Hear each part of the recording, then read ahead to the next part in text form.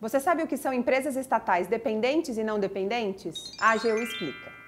Em uma empresa estatal, o Estado é o dono de todo ou de parte do capital daquela instituição. No Brasil, os fundamentos para a criação de uma empresa estatal são ou o artigo 173 da Constituição, quando se trata de exploração direta da atividade econômica pelo Estado, ou o artigo 175, quando se trata de serviço público.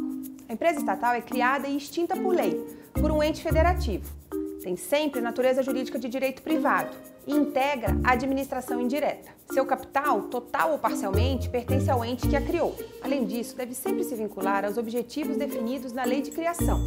Se submete à supervisão do ente político e ao controle pelo Tribunal de Contas.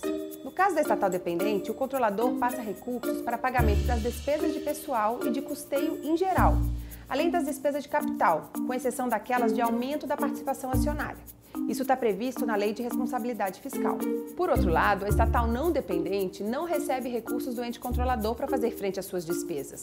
Alguns exemplos: Caixa Econômica, BNDES, Petrobras, Banco do Brasil. O ponto importante a ser ressaltado é que a estatal dependente integra o chamado Orçamento Fiscal e da Seguridade Social, enquanto a não dependente integra o orçamento das estatais.